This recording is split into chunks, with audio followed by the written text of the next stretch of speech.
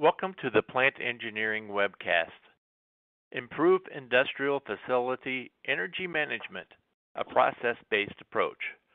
Sponsored by Schneider Electric. I'm your moderator, Jack Smith, and I'm happy to join you today on behalf of Plant Engineering Magazine. Here are some tips to help you get the most from today's webcast.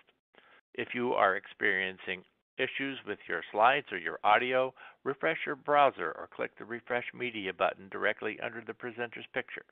You can control the volume of the webcast by adjusting the volume on your computer or by adjusting the volume on the webcast platform. If you are having technical problems with audio or the slide presentation, click on the question mark at the top right corner of your screen to access a list of system checks before contacting an online technician. But if you do need a technician, type a message in the Ask Question box and someone will get to you as quickly as possible. Type questions for our speaker in the Ask a Question box on the left side of your screen. The live Q&A session will begin after the presentation concludes. Today's webcast is being recorded. You will receive an email within a week with a link to the on-demand event. To download a certificate of completion, a PDF copy of the presentation, and other additional resources, use the Event Resources tab on the left side of your screen. Those documents will also be available with the on-demand version of the webcast. I'm happy to introduce today's distinguished presenter, Ram Kaushik. Ram has more than 25 years of experience in technical and business roles in engineering, IT, and software development.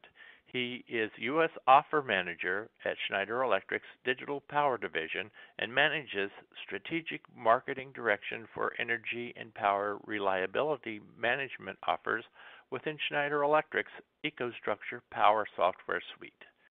He manages a portfolio of hardware, software, and services targeted toward industrial, commercial facilities, data centers, and healthcare. He presents frequently at seminars, industry forums, and technology panels. Ram began his career as an automation applications engineer at American Electric Power in 1989. After that, he worked in industrial automation and power systems applications at Square D before venturing into software consulting career a series of technology companies and startups. He has worked as an offer manager for Schneider Electric since 2012. He has an MBA from Vanderbilt University and MS in engineering from uh, Rensselaer Polytechnic Institute. Thanks for joining us today, Ram. We're delighted to have you here, and the floor is all yours. Thank you, Jack. I appreciate being here today and I hope, firstly, that our audience and their families are safe during this very, very strange and disturbing year. Uh, happy to join you to talk about this topic of relating energy management with process in industry. Uh, the learning objectives are up in front of you. And the idea is for you to become a little more familiar with some market trends in this area. Uh, also look at some design considerations that we at Schneider have uh, um, experienced while implementing these systems at our own manufacturing plants. So this is not necessarily something um, that we are only selling to other customers. It's something that we are practicing ourselves in our own manufacturing facilities. So uh, the agenda today, we will look at firstly, the market trends in this area, and more importantly, what those market trends mean at the facility level. Secondly, like I said, we will look at some solution considerations that we have found from uh, experience. I'm sure our uh, audience of engineers have probably varied experience, which you know they can bring to bear upon this. Uh, thirdly, we will look at a couple of case studies at uh, two facilities where we have we have uh, implemented these systems. Next, we look at the lessons learned uh, sort of a summary of what we have learned and how we are putting those into practice. And lastly, uh, this is probably a little bit of a, a, a, sidebar, but I thought it was important to include that there are some important energy visualizations which are becoming more popular for good reason. And I want to give you some examples as to how those visualizations can help improve your facility. Okay, let's jump in to the first section, which is the market trends in this area and the implications at facility level. Traditionally, if you look at these uh, energy management systems, they have gathered energy data in sort of a silo, disconnected from other production systems like process, machine state, uh, or other MES and building management systems, automation systems, etc., which have often valuable context data. If at all we integrate those into the energy management systems, they can be haphazard and sort of piecemeal. So that's sort of one piece of the story where the, this kind of energy data and the process data are in, are in different silos. Simultaneously, there are standards and initiatives for these continuous energy management programs, sustainability reporting, etc. And the say, state of the union, right, in this area is that without this process context, managing those energy efficiency programs and actually sort of checking the box on these standards becomes quite difficult and challenging. Okay, so this is sort of a, a, summary of uh, the state of the union. So given this context, uh, let's look at two different trends which are reshaping this landscape. One is the development of new software analytics tools. Right? So the tools are getting better. Uh, analyzing energy costs, allocating costs. So there's lots of different new tools coming out. And the, what that does is it, it sort of makes the return on investment of integrating data between process and energy more apparent, right? So the, return on investment was not maybe exposed as much as it is today. So now, uh, you know, it's very difficult to sustain the argument that that data is in a different system, right? That's that's just the benefits of data integration between these systems is becoming very clear. So that's sort of the first trend. The second trend is sort of bottom up, right? The first one is top down. This one is bottom up, where devices that capture energy and other, uh, you know, contextual information are increasingly becoming more sophisticated. I don't need to tell you guys this. This is pretty obvious. Um, and there is pressure to answer what this does is, the intelligence of bottom up devices brings even more pressure to answer energy questions in the context of critical processes. And we, we look at what this, I will land this plane in a minute, right? I just want you to look at the two different trends and the pressure it brings to the existing uh, landscape. Okay, what's the net result of this? Right, like I said, um, you can look at this in the context of this ISA uh, reference model, which is sort of a useful conceptual way to look at uh, data and how they how it relates between different systems. So if you look at the SCADA reference model here, uh, there's there is level sort of these lower levels where there's devices uh, and, and then above that, there is a system management or a supervisory control and enterprise systems. Energy management tools may belong in level 4, whereas process level control and monitoring may, may be, belong in, say, level 2. So what that does is it, it, there's a lot of pressure in connecting these two uh, in bridging this disconnect between the IT and the OT worlds, if you will, right? So that's uh, that's sort of at a high level. Now, what does what impact does that have at the operator or at the industrial plant manager level? So the questions that they're trying to answer today are considerably different. Uh, it, it is not sufficient to maybe categorize energy in, in buckets which are isolated from process. They they want to typically isolate and categorize energy costs during maybe non-production periods. They want to allocate energy costs to units of production. Maybe report metrics by cost center. Um, they often want visibility into uh, metrics about energy and uh, other costs uh, when processes are maybe idled or starved of parts. and often this is a multi-site KPI comparison, right? So if you think of, say, Procter & Gamble, they want to compare energy costs. There is some executive uh, who wants to compare how energy costs per assembly line uh, process compares to isolate good and bad performance. So these are sort of very tangible metrics that these executives and plant managers are chasing. Right? In in maybe yesterday's system, calculating these metrics wasn't that straightforward. Uh, we're certainly getting better, and I want to tell you, of course, what's getting better.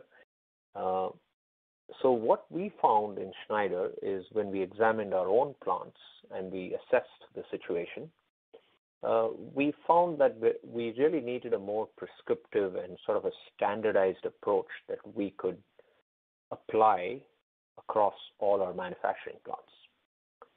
So I'm not going to go through the, all the nitty-gritty of this slide, but essentially these, if you look at the broad uh, themes, plant managers are after energy costs, increasing operational efficiency. The middle one, which is sustaining the energy savings over time, is a big one, right? Often you find uh, people who have run energy programs a lot will find you know you hit the low hanging fruit, but then uh, the performance sort of tapers off. Um, so baselining and monitoring continuously and sustaining these energy savings. Often energy savings drift back. You know, bad behaviors start cropping in, uh, and if you don't keep your eye on the ball, right? Standardizing these energy management practices across plants and uh, tracking energy in terms of doing the calculations required for carbon emissions is also important. So I mentioned ISO 50001 here, and I, let me unpack what that is. So a few years ago, Schneider Electric uh, manufacturing plants sort of committed to this ISO 50001 standard. Uh, essentially, it is a, framework to manage um, energy efficiency programs, and it follows this um, uh, sort of plan, do, check, act uh, circle, right? So it's a continuous management, and it has very formal checkpoints. There is uh, there is uh, program methodology that's followed. There is tracking metrics. There's there are KPIs. So it's it's it's a very systematic approach to industrial energy management. Um, and you can, uh, you know, we have embraced it pretty heavily in Schneider, and you can see, you know, it's it's it's really it's not just uh, sort of we're not doing lip service, right? We're actually making, uh, you know, doing significant cost savings using this. There's a case study that the Department of Energy did, and there's other vendors involved in ISO 50001. Uh, there's also the Superior Energy Performance Program, which is a certification that's sort of one grade up um, and we've achieved that as well, right? So I want to show you how we have done this, right? So we'll take a couple of examples and we'll look at uh, some, you know, really nitty gritty on okay, how did how did this happen? Okay, so that's sort of a very, very quick view of where the industry is, uh, the landscape, the tools, the pressures that are changing the game, and what they mean to uh, individual manufacturing plants. All right, so now next, let's look at some uh, con uh, solution considerations that we went through and some designs and architectures. Uh, I, I, want to sort of look at the thinking that went behind how we approached uh, what we did. All right, so we found that you know the before state is energy data had been collected sort of at the facility level, maybe some sub-metering at various feeder levels, um, but it wasn't that the the link between that and what exactly was going on in the plant was not there at all. Right? So our goal was to correlate these manufacturing processes to energy usage and we had I'll show you the states and things analysis that we did. Uh, and the idea was to, to, some more detailed energy analysis and maybe even alarms to to isolate wasted energy during non-production periods. So you can think of this as bridging that level two and four in that ISA 99 model that I showed you earlier. Um, so that, that that was sort of the goal of the exercise. All right, let's look at some of the design considerations that went into our, our thinking. So the first thing that we, and, and if, if you're a manufacturing plant sort of looking at this, uh, you need to have a pretty good understanding of what are the processes or machines that can, be, can actually need an energy association, right? So you, you have to be able to articulate which processes are worth uh, analyzing, right? It's it's knowing what not to do. Uh, you know that's as important as knowing what to do. If so, if you need to have some understanding of processes and machines that have that need these energy associations. What are the states or associations you want to analyze energy by? Okay, what is worth it? Do you want to dissect energy by product types let's say you're you're a Nissan, uh, is it valuable for you to look at energy by, you know, I don't know, some example like a Pathfinder versus an Altima, right?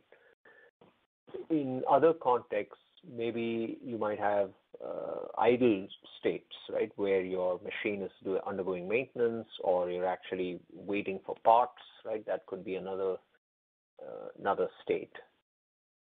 And we look at some more examples, practical examples of this. You have to have an idea of what your monitoring infrastructure at the plant is, what you, where you can get data from, and what you don't have data for, and therefore will have to add. How can you interface with these, the energy system, energy management system, with the process system? Is it PLC um, managing these uh, plant systems, or is it, I mean, are you going to pick it up through discrete uh, I/O? So that's a decision point, and there's it's there's it's not a one size fits all, but you have to kind of analyze this to figure out what is um, you know what's the appropriate point to do this. Documentation was surprisingly, uh, uh, it looks like an uh, unimportant thing, but we, we had a lot of trouble uh, at, at a couple of sites where you know, actually digging into what was out there and how to interface what turned out to be pretty challenging. Uh, and the older your plant is, the harder it is to track your as-builts and things like that. Um, what are the KPIs that management is after? So that's another, you know, is it energy units or do you want to actually relate it to energy tariffs and actually come up with with with dollar values, right? So that's that's another fairly, I mean, it's a it's a decision that has implications. Let me put it that way. All right. So choosing KPIs for energy consumption analysis is also uh, an important call, right? So you may want to slice data by energy data by machine state. So I give some examples here. Um, automatic, maybe stage one, stage two, or bypassed. It could be a process state. Uh, you could have something that's um, you you may want to isolate energy when uh, parts are either blocked or starved. You're sort of waiting on uh, you know, this is a process efficiency thing, right? So usually manufacturing guys are all over this, but it, it they what they lack is a visibility into uh, well energy when the picture of energy when they are scheduling uh, various processes, right? So that that's that's the context we are trying to add. Uh, idling between shifts, weekends, etc uh, energy per unit of production at various assembly stages. So if you're in a, in a you know, paint line versus uh, parts assembly line, you may want to examine per unit of production. So normalized by per, unit of production because absolute values don't necessarily mean a whole lot. Energy by product type. So I, I, will show you an example from one of our plants uh, as well. But this is another example from a beverage plant where you may want to compare energy by various uh, types of, uh, you know, beverage filling, for example. So choosing KPIs is important. All right, so those that was a very quick summary of sort of design constraints that that you have to go through when um, planning this integration between your energy system, energy management system, and your process system. Let's now look at uh, a couple of our practical cases where we have implemented some of this stuff, right?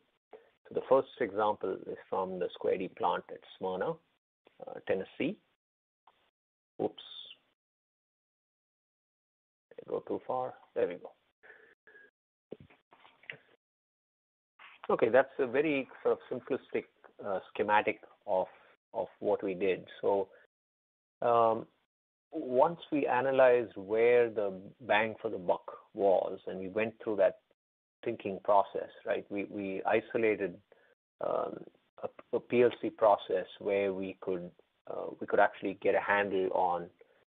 Okay, you know, we, we needed this uh, process states data, which is, you know, is the oven in operation or shut down, and if the conveyor is running or idle.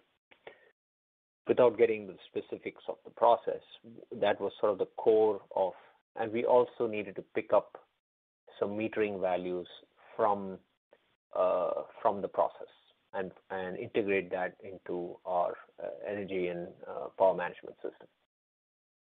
So after we isolated that data and we actually started collecting it and analyzing it. And I'm going to show you some results from that. Um, some, you know, the first, um, I would say, very simplistic uh, energy analysis, which brought very tangible results. I mean, it's very simple stuff, right? I mean, there's, if you look at this chart, it's uh, you know, somebody is, uh, Bubba hasn't, let's just say, um, gone through all the process shutdown that that should have happened. I mean, there's energy use during idle times, right, which which was exposed. Some of it might be legitimate, but at least the data is now transparent. This wasn't very clear before because the energy system is running in a silo compared to the process.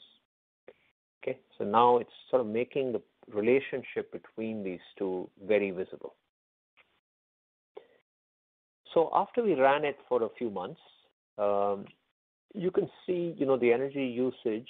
Um, this is the oven oven usage, and you could see, you know, definite improvement once we exposed the data to the plant uh, managers, and they go through this audit for the ISO 50001 trying to identify energy efficiency uh, opportunities. So the first improvement is really uh, what I call operational changes. So process, people, and procedures, right? Um, so maybe they're not following a, systematic shutdown process, right? So once you enforce that, you start getting some benefits. So that's sort of the operational piece of this. And then the programming, which is changes that optimize the process itself. So that gets you the sort of the next layer of the onion. So as you can see, you know, we, we made some significant progress uh, as part of the ISO 50001, uh, you know, part of the ISO 50001 process in Smyrna.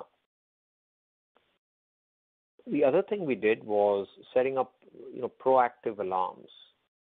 So if you look at um, we isolated, we created alarms. Once once we tied the data together, we are we are able to generate alarms like, okay, fans running when conveyor idle. Without that context, you know, it's impossible to alarm, right? It's that alarm is impossible to convey usefully. So we were able to sort of create some of these uh, oven shutdown alarm, you know, energy usage alarms when something should not be happening. Um, and that that again, when you expose the alarm, uh, operators, you know, respond to that much more effectively.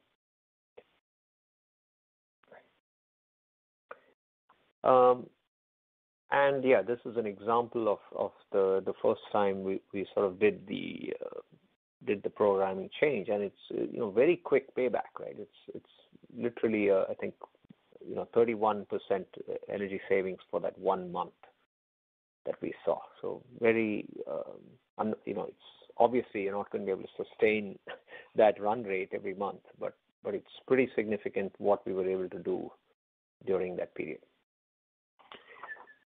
And you know, we use that pilot to to estimate maybe larger systems, um, and we got some pretty good uh, numbers. Uh, you know, even using uh, conservative estimates we could get we, we came up with some payback numbers to justify our, our investment in the next plant.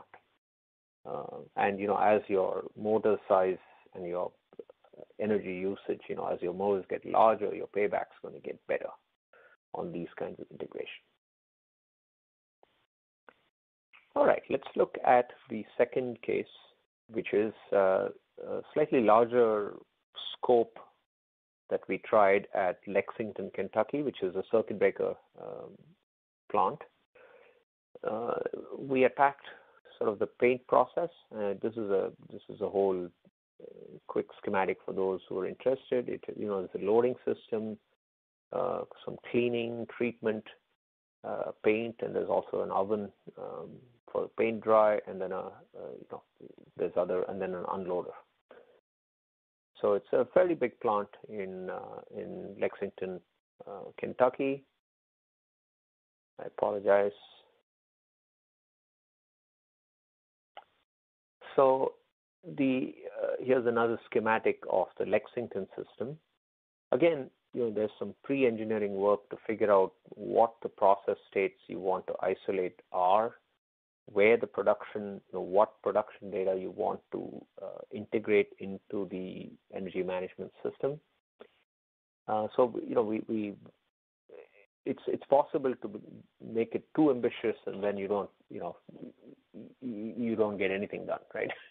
So we tried to resist that, and we we made a very very concise list of data we wanted to integrate um, you can see the process states here and the production data that we integrated into the energy system.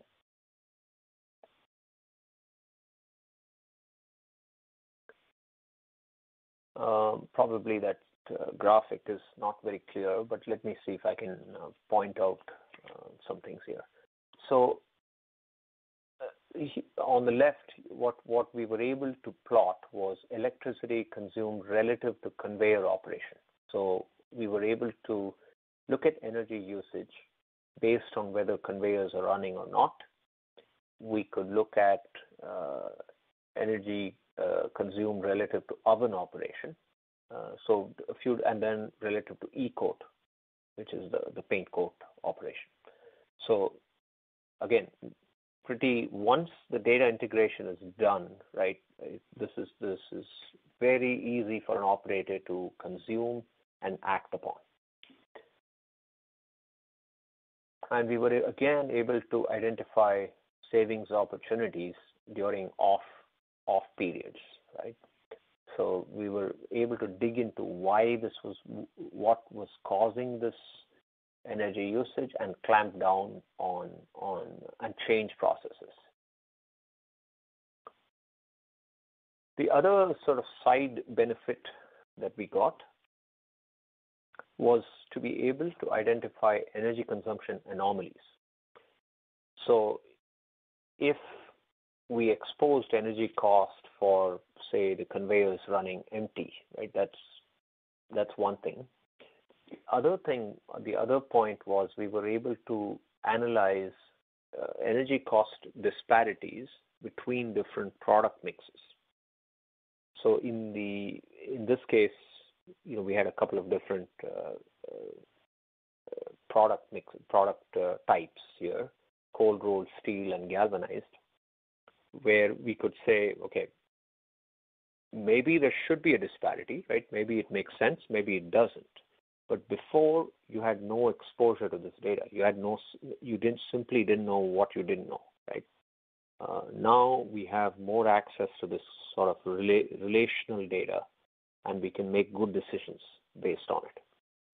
Uh, in the extreme case, they, I, you know, we ran an analysis where it might even make sense to change the product mix, right? If you think about um, how energy is paid for, the energy contracts based on on-peak, off-peak, and energy contracts uh, with utilities are written, uh, there is a case to actually shift production mixes based on uh, energy costs. I mean, if if you can do it, if you're running a two-shift shop, it might be possible to stagger a shift by two hours and, and change production schedules. Now, plant managers don't like that approach very much, right?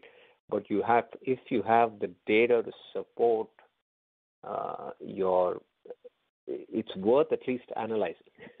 Let me put it that way. You can at least analyze the data and say, yes, the production mix and the production scheduling system is efficient. Uh, but if you cannot relate energy mixes to your production scheduling, you have no idea, right? So that was another um, sort of aha moment for us.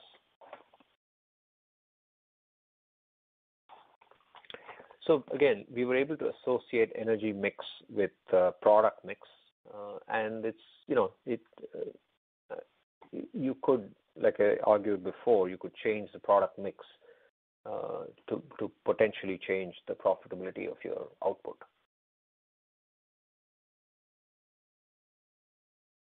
The other side benefit that we got was um, we we were also monitoring some key uh, machine equipment because we had integrated it into the energy and power system. So we were examining pumps, and uh, we could look at energy usage of uh, things like aeration blowers, which weren't being monitored before and we were able to do some long-term analysis, right? So you could see uh, a performance drift. So you, we could actually see, okay, you know, what's going on. I mean, is this uh, some scheduled maintenance that was mix, missed? Uh, so you could do some condition-based uh, monitoring uh, and impact the process significantly. In this case, if I recall correctly, we showed this to the plant manager uh, but we couldn't take an outage to actually do anything about it within that time window. But uh, we at least made them aware um, that this was an issue, um, and you know hopefully you can address it during the next time you you take an outage.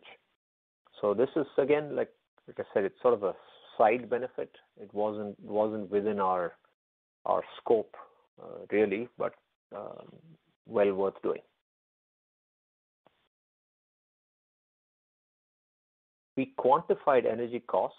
So this is a useful thing for manufacturing plants to consider. Is often um, if you're if you're able to quantify using your energy rates, it makes it a lot more tangible when you say, you know, it's it's costing you 12 cents per um, you know per uh, part that goes through the carrier.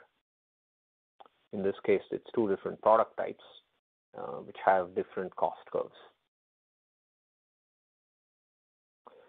We also uh, generated uh, shadow bills. This is this is another powerful mechanism, and some of this is recommended use in the ISO 50001 uh, program maintenance. Right, if you expose energy costs in tangible numbers and do internal billing, it really drives behavior. So you, you, get a lot more eyes looking at it when you have to sign a check for it. uh, before it was maybe hidden in internal costs, but now uh, it, it, exposes uh, exposes this information.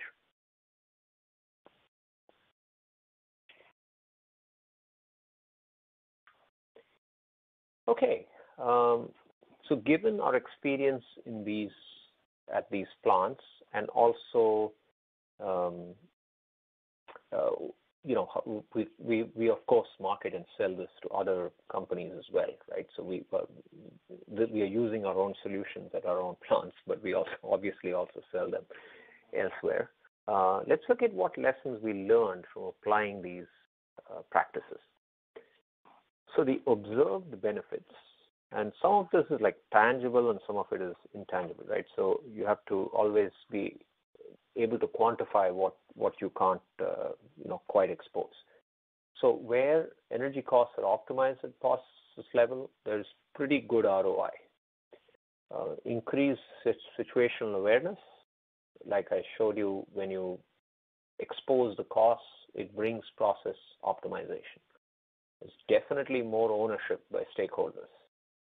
Uh, individual departments now have tools rather than a corporate energy czar having that data. Um, this is data that's bottom up, so plant floor people have have the data.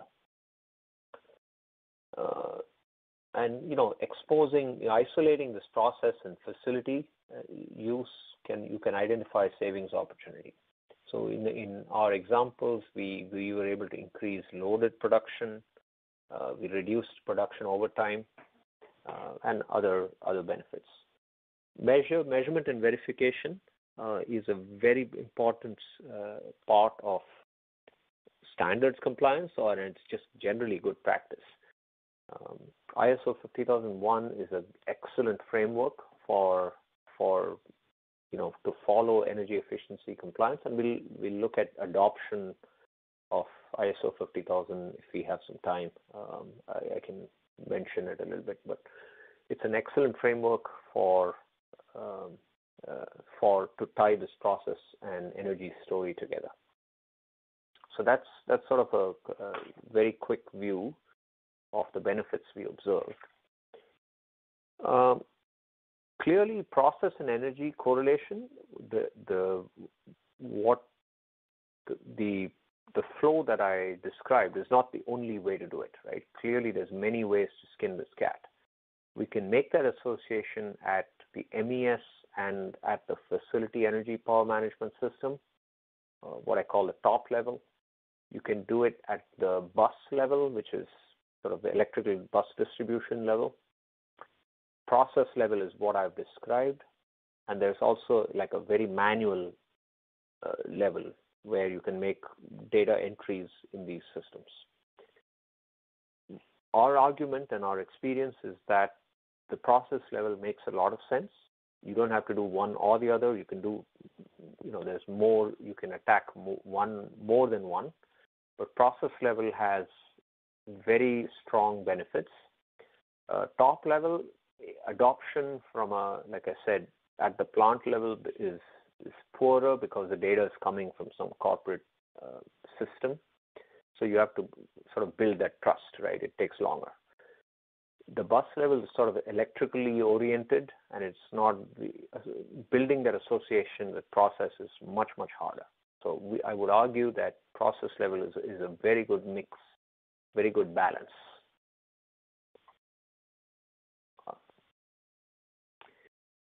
If you were to compare the, the sort of the top level and process level integrating um, if you compare integrating between those two levels, there's many advantages, right? So it's uh, there's there's standardization uh, is easier. Uh, there is you get some side benefits from from examining sort of power quality areas, for example, because you are um, already monitoring process level electrical data.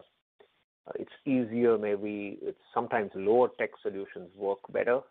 You can integrate with the process PLC and maybe the meter, and that's a lot easier than building some complex API software integration. So lots of advantages here. Again, I'm not arguing that it's the only way, but it's we, we found some benefits here. Okay, finally, like I said, uh, I'm going to take a few minutes to show you some improved. Um, I mean, we've we've taken a look at what the advantages of integrating energy and process are. Some you know some some of our case case studies based on uh, our experience. We've looked at lessons learned. Uh, now this is like I said, sort of a sidebar, uh, but I thought it's important to include here because there's some energy visualizations and some deeper analytics that are coming out, which which really make life a lot easier for the operator. So I'm going to just throw some examples at you guys to see uh, to sort of show you what is possible, right? So heat maps are pretty powerful. Uh, we've used them in several of our examples here. You can identify hotspots. Um, so here's an example where a gas meter was running uh, at a time where it should not have, right? We didn't run a third shift. What happened, right? Did we not do an orderly shutdown of the oven after shift two? Can you get this data through other ways, other means? Absolutely. Absolutely. Is it easier to see in a heat map like this? I would argue yes. Another example, um, packaging. Um, here's a packaging example. So it's a split of uh, energy usage intensity, so it's normalized between these processes, packer, palletizer, labeler, and production. And we can compare that to an energy intensity target, right? And say, look, are we meeting the energy intensity target? Are we exceeding it? Uh, maybe in this case, the idling efficiency wasn't good enough. So there's there's data that pops out from this kind of visualization. Uh, it's a lot easier to understand and assimilate rather than you know you could certainly get the data in you know in a complicated excel spreadsheet or something uh, but this is easier to do something with. Uh, the other area which is which is uh, you know companies are doing more of is is forecasting used based on energy modeling tools so we've we've done some of this. Uh, our some of our software does this. Uh, we can build an energy model. Here's an example where we've built a model and we are tracking it versus actuals. And you can see the energy usage appears to be less than forecasted. So now either the model is not super accurate, which is possible, uh, or uh, there's some kind of uh, production machine failure or something like that, or uh, it's real.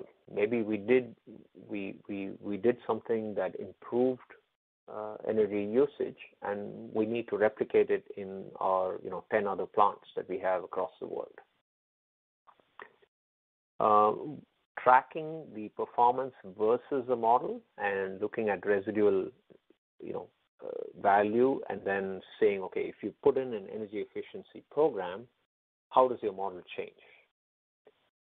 Okay, what what is this used for? Well, if you have an accurate energy forecasting model, you can budget better. You can actually take this forecasted energy model to your utility negotiation um, when you're negotiating rates, for example, right? So building models is another uh, new newish sort of tool that uh, companies are beginning to use now.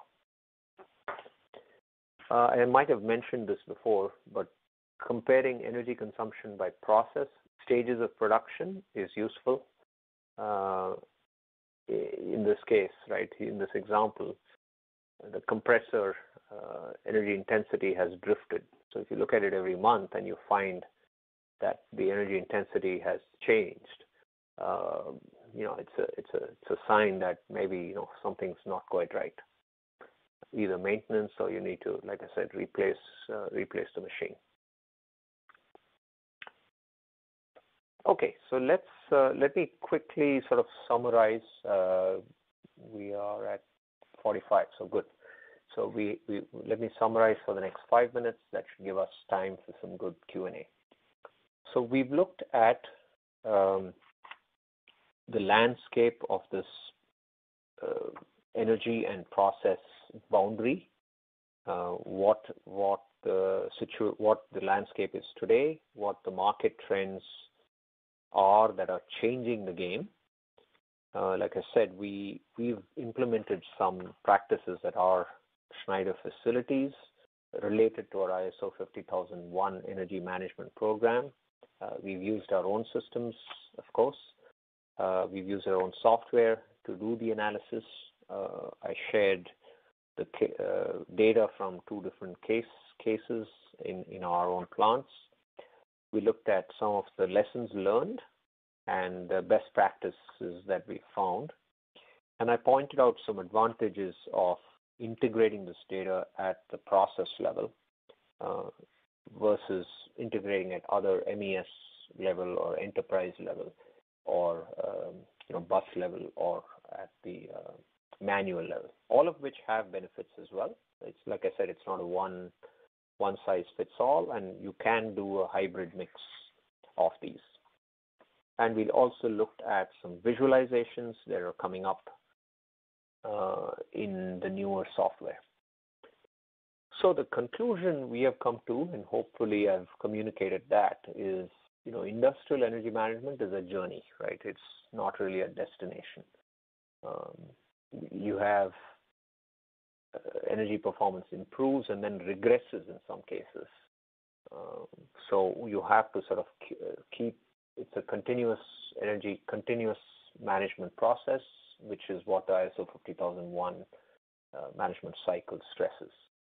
So you have to kind of keep at it, um, and sometimes the you know the, the benefits get smaller, but the problem is if you take your eye off, you'll find uh, you know the the losses are pretty substantial.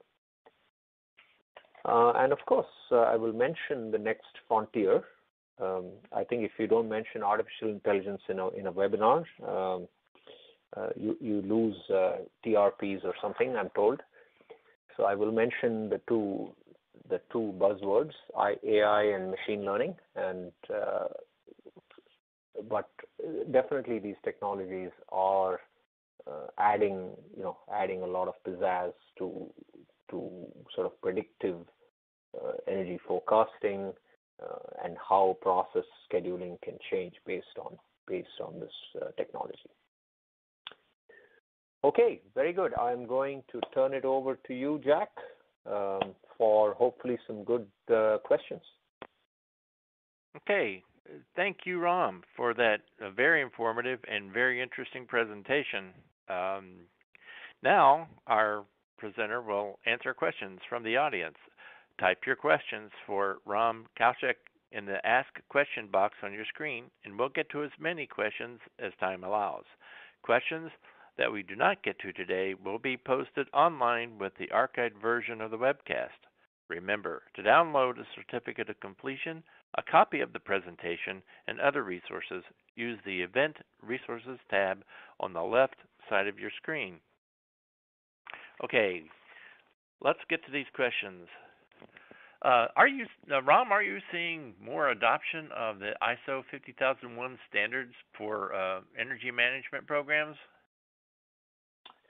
Uh, yes, good question. Yes, definitely we are, um, and I'll tell you the main driver. It's it's actually uh, if you look at the adoption of ISO 50001 globally, in multinational companies, the ones which have a strong presence, say, in other parts of the world, uh, APAC uh, or Europe or the Middle East, it's, it's actually more substantial.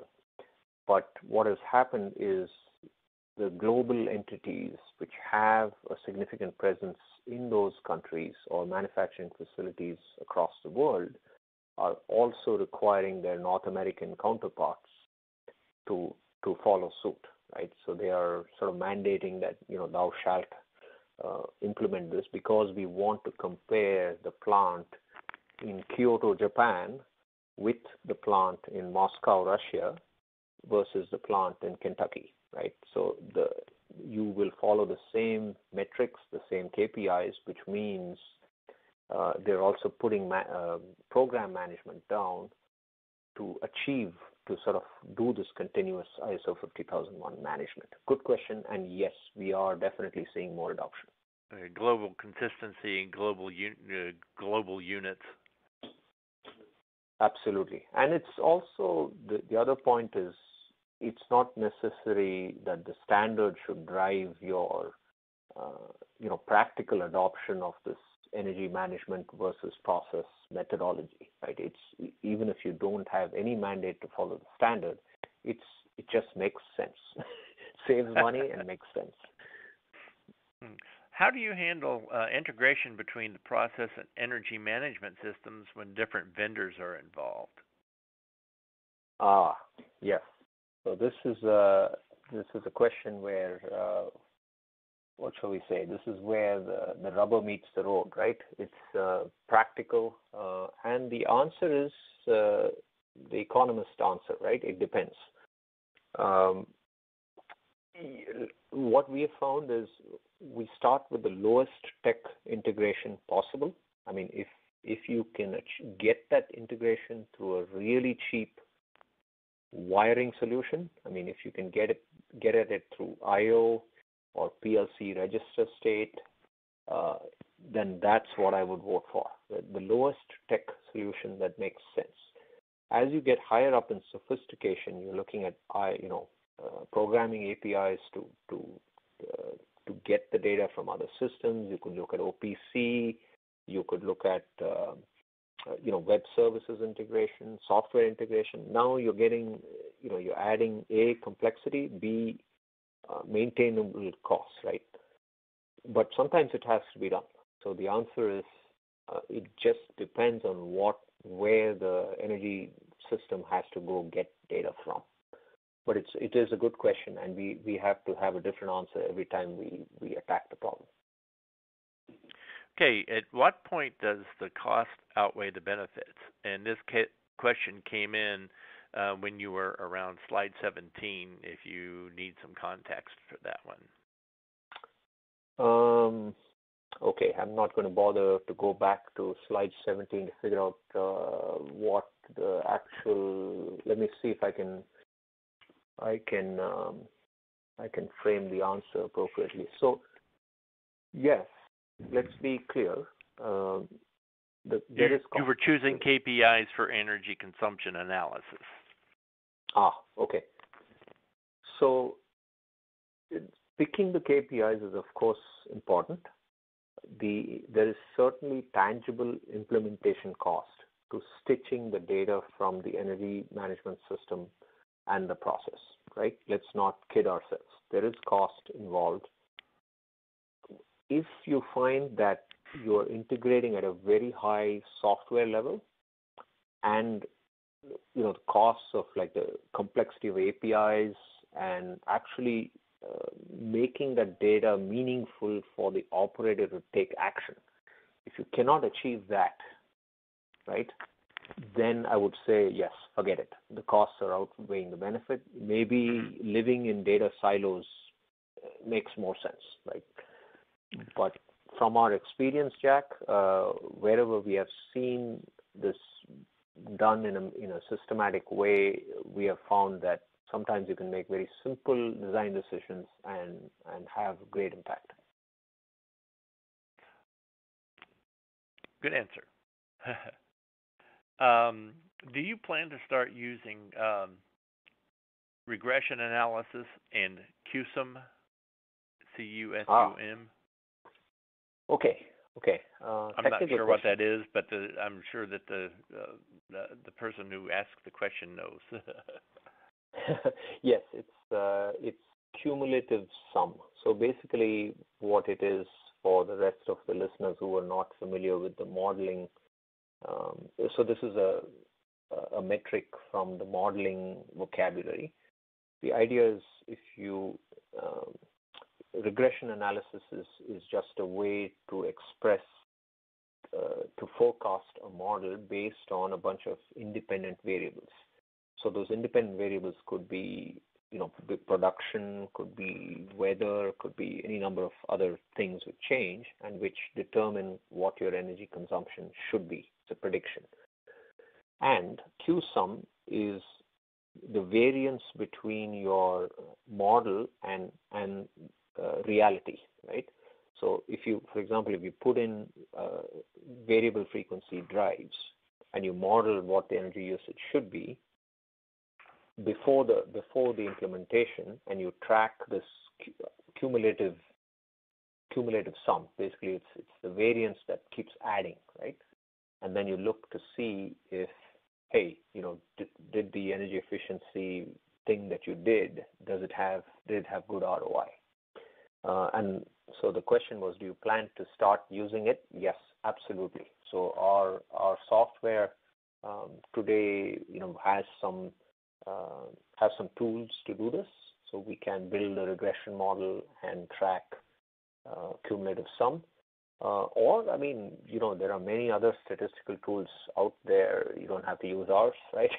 There's many. Uh, if you, you know, if you if you have the right uh, expertise, you can build a model using some of those statistical tools and, and track it. But yes, this is it's getting to be more uh, more mainstream, I would say.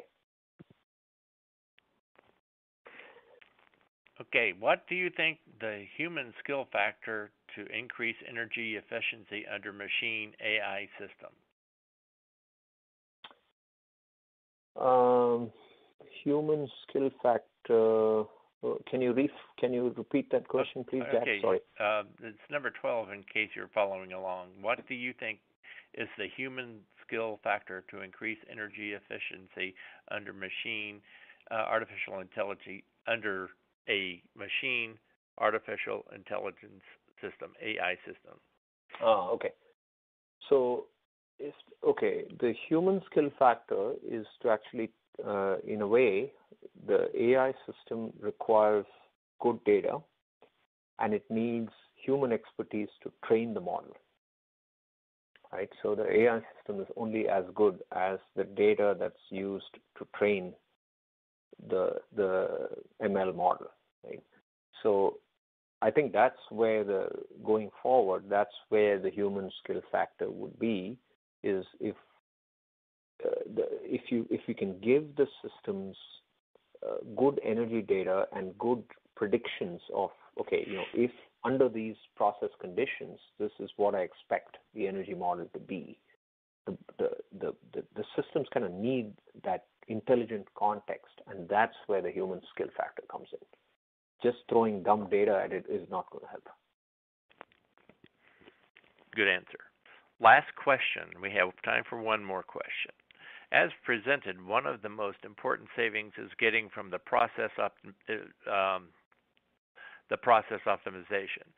In this matter, does Schneider Electric provide uh, specific technical support to process optimization in different industries? Uh, yes. So I'd say the answer is a cautious yes. Um, does Schneider provide specific tech support? Yes we can certainly help clients uh, walk through the process uh, and the the systems integration that's needed to bridge that gap, you know, between the uh, to get you know get the results right, process efficiency. But what we do need is an uh, kind of a committed stakeholder on the other side, right, to to to work with us and and to bring the the the local facility knowledge and the domain expertise. So we will need the commitment on the other side for us to be successful together. But yes, we do. We do that. It goes goes both ways. absolutely, absolutely. All right. Thanks for the great questions and thanks for the excellent answers. Uh, and thanks again to our great speaker, Ram Kaushik, for sharing your time and your expertise. I'd also like to extend a special thanks to our sponsor, Schneider Electric, for sponsoring today's event. And now that we're just about done, we want to hear how we did. The exit survey will pop up on your screen as soon as the webcast ends. Please take a moment to complete it because we use this information to improve our webcasts. Finally, on behalf of Plant Engineering and Schneider Electric, I'd like to thank you for attending. This concludes our webcast. Thank you and goodbye. Thank you.